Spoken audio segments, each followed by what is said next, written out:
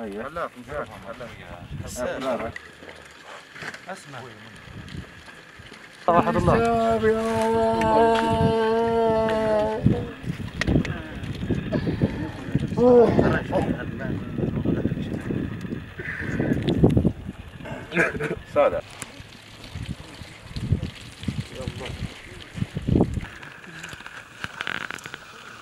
سمعت منهم بتاع صبيه مطوف الهلال الأحمر.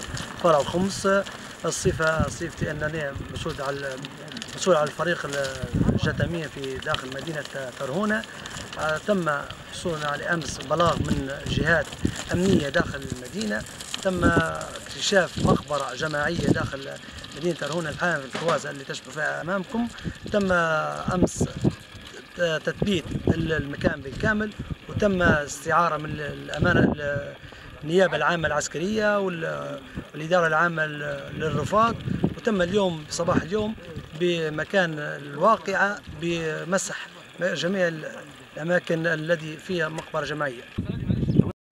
لطفي توفيق المسراتي مدير إدارة البحث على الرفات بالهيئة العامة للبحث والتعرف على المفقودين.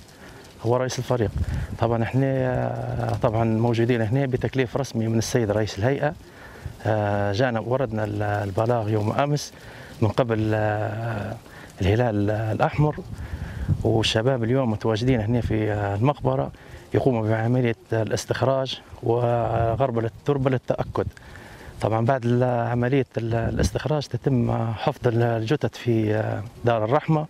عن طب وبعد ذلك يتم الكشف عليها الطب الشرعي وأخذ العينات وتجهيزها للدفن. إحنا متواجدين الآن في مدينة ترهونة.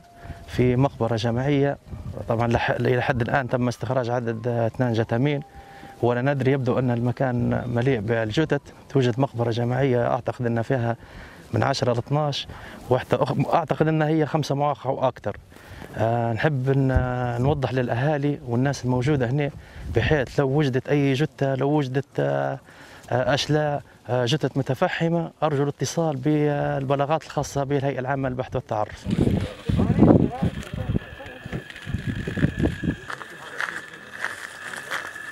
شيخ. معلش لو سمحت دور الشارع